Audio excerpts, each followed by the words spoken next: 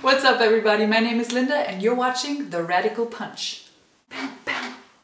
Okay, so today's topic is the power of data. Why? Because data is everywhere, especially in social media platforms. I've been living my own data drama for the past seven months. I've tried to uh, analyze 600 videos on YouTube manually. I go through every single video on the platform and I write down the views, the likes, the dislikes, the description tags. And just recently I discovered that there are actually platforms that do that for you automatically, automatically, automatically, automatically.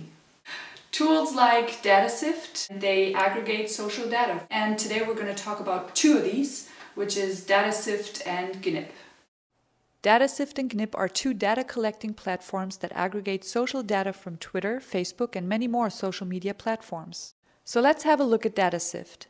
You just go to your streams at DataSift, you create a new stream, search for the parameters you're interested in at the code toolbox, and define your query, and all you have to do is just wait for your live data to show up.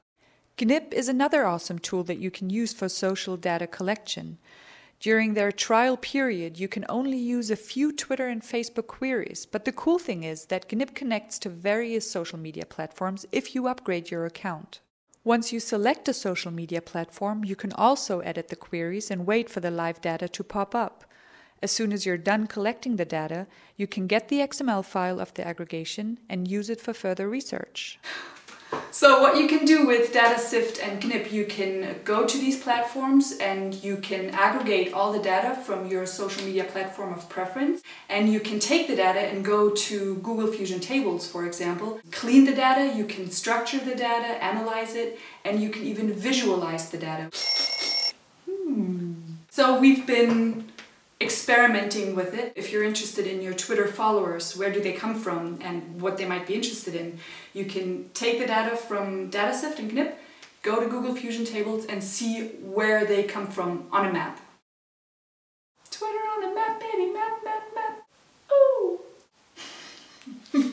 so this is it for today's topic, the power of data. If you have further platforms that you'd like uh, to share with us, let us know. If you have any questions, write to us, post a video response or anything so that we can get in touch and hopefully we'll see you next month.